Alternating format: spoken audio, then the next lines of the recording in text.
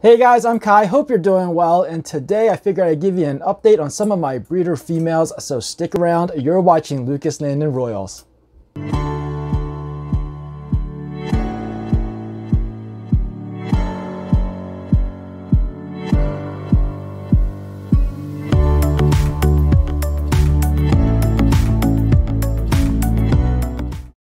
Hey guys, how you doing? I realize it's been a while since I give you an update. I did upload a couple videos in the past few weeks, but they have been really, really short.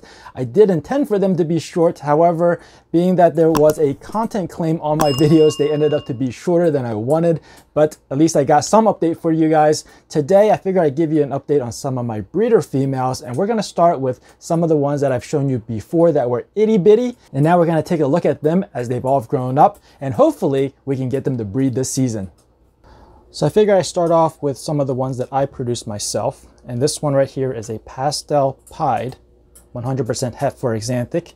So I think she is just about big enough to start breeding. I would like her to feed a little bit more, um, but she's not an aggressive feeder to be honest. So I'm hoping that she'll go. She has been locking and she is um, big enough to breed, but like I said, I do hope that she gets a little bit bigger, gets a little bit more size to her, but I won't be disappointed if she doesn't go because I'm not really expecting much out of this one just because she has a little bit more growing to do. So this is the Pastel Pied 100% Het for Axanthic. Gorgeous little girl. Let me go ahead and get out the next one. Sticking with the pied Axanthic project. This one right here is a black pastel pied 100% het for Axanthic, and she is the half sister to the last one that I showed you. This one was hatched a season after the last one, and you can see how quickly this one has caught up in size. So I am hoping that this one goes. This one has been locking as well.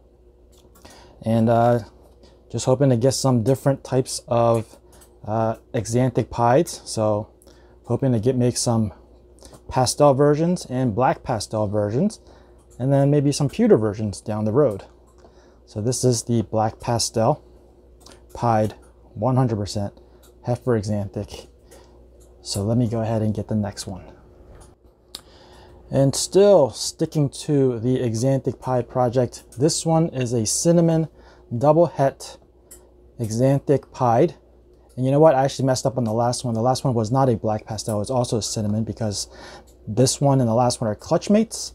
This is a double het Axanthic pied. So we have a little bit less of a chance to make some Axanthic pieds, but that chance is still there.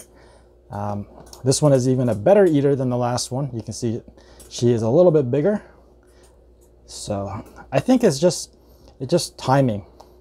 Um, seems like whenever I do my feeds, the last one that I showed you, the cinnamon pied, uh, goes into shed more more often during feed days, and this one just happens to miss those um, those sheds during feeds, where finishes sheds right before the feed. So this one did get a few extra meals, and like I said, is a little bit bigger. Has been locking, but uh, a little bit less of a chance, half the chance of making Axanthic pieds than compared to the last two, just because this is not a visual pied or visual Axanthic.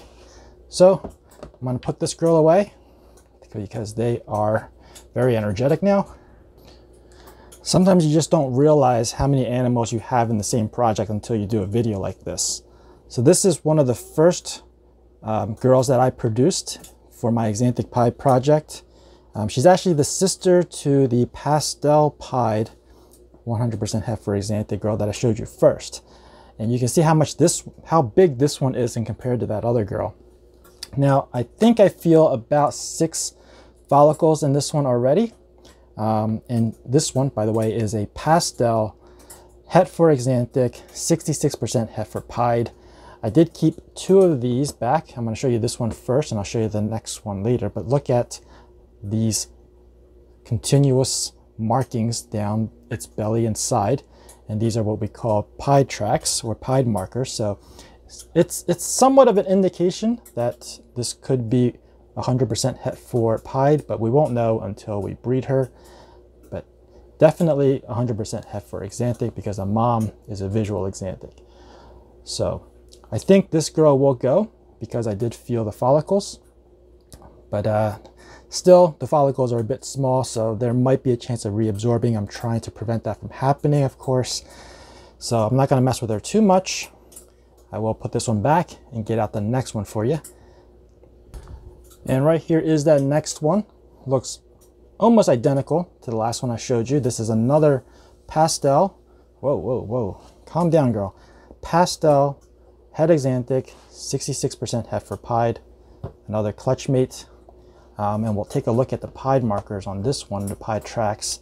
I think this one is not as strong as the last one, but you can still see that there's some continuous lines down its belly, along its, along its belly on the two sides. And this one, also feeling some follicles. I think this one is actually a little bit behind the last one I just showed you. And this one really moves. I don't know what it is with these, man. They just always want to move when I'm trying to do a video. I figure if I do a video during the day when they're supposed to be sleeping, they would mellow out a little bit, but seems to be, have the opposite effect here.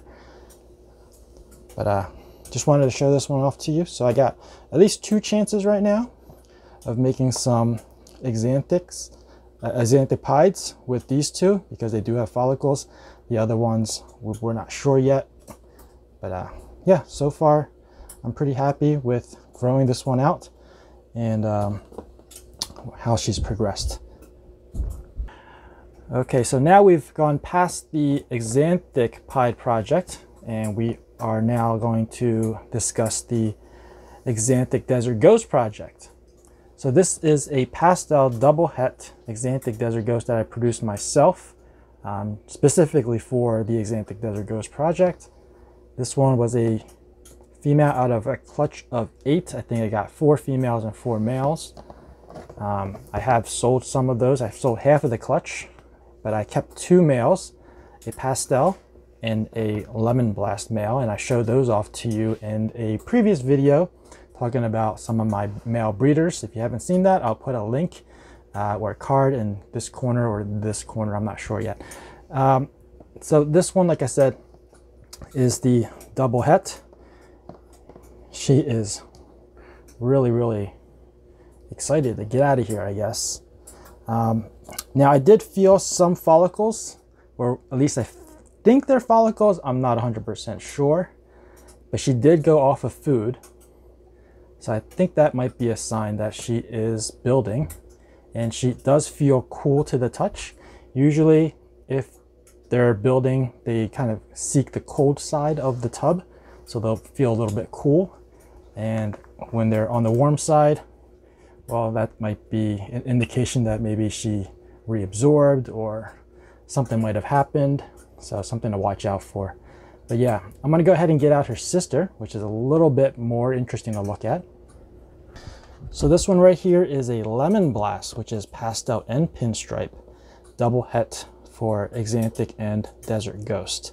Now she's the only pinstripe pastel female out of the clutch. And the last one was actually the only pastel female out of the clutch. So of course I kept both of them. And as for the males, like I said, I have a video but I'll tell you the males are a pastel double het and a lemon blast double het. And the reason I kept both of those males is because I wanted to make sure that when these females are up to size to breed, the males uh, don't disappoint me. So I have one as a backup. And it's really important to have male backups. But this one, look at her. She she actually I thought had thought I felt follicles in this girl. And she is still cool to the touch.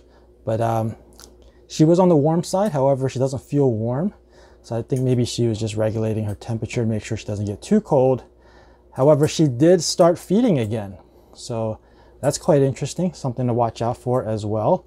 So when they start feeding, um, maybe they, they, don't want to breed or maybe they're just trying to put on some additional size, some additional uh, reserves so to help them build those eggs and get more um, out of this season. So I'm hoping it's the latter.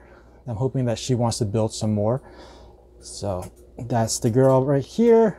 And not that's the girl right. This is the girl right here that I'm really, really hoping will produce some Desert Ghost Axanthics. And she does have an extra codom in the mix, so that's definitely gonna be a plus. I'm gonna go ahead and put her away and take a look at the next one. All right, so the next one that I intend to show you is actually locked with the male right now, so I don't want to disturb them.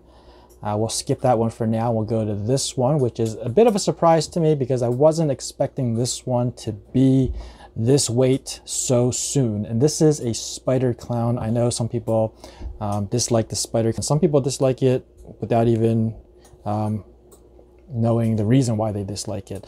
Um, seems like people are disliking it just because they hear it's not a good gene or uh, has issues. And it does have an issue. I don't want to spend too much time on this video talking about that wobble issue.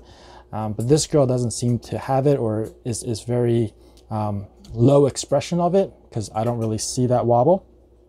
But yeah, this is a girl that is very, very clean. Um, there might be blade floating around in my collection.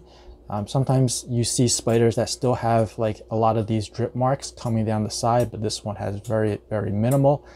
Uh, great little girl, great feeder, obviously, now that she's gotten to this size. Um, definitely over 1200 grams, I think. Um, so I might even try to breed her this season, although I wasn't planning on it.